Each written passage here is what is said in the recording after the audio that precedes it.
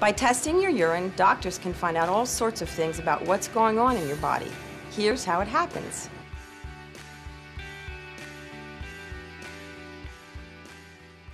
The nurse or technician, tech for short, will hand you a cup and a few moist cleansing wipes. She'll ask you to go to the bathroom and pee in the cup. If you're nervous, a parent can come into the bathroom with you. If you have questions, don't be embarrassed to ask. Nurses and techs are used to talking about pee. In the bathroom, you'll use the wipes to clean off the area first. It's just soap, so it won't hurt. Next, just sit or stand at the toilet like you normally would. Pee into the toilet a little first.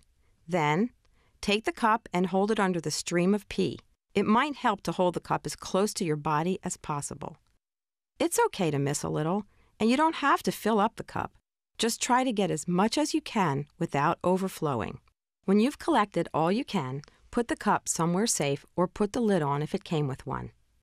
Wipe yourself, flush, and wash your hands well. Hand over your cup.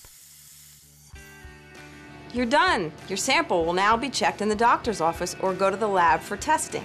When the results are in, your doctor will share them with you and your parents.